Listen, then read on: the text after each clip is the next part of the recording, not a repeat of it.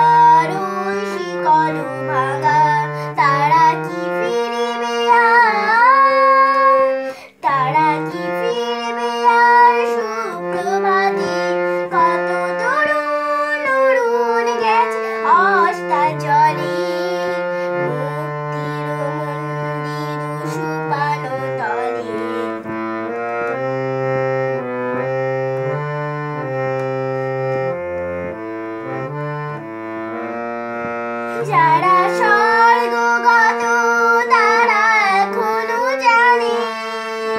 স্বর্গের চেয়ে প্রিয়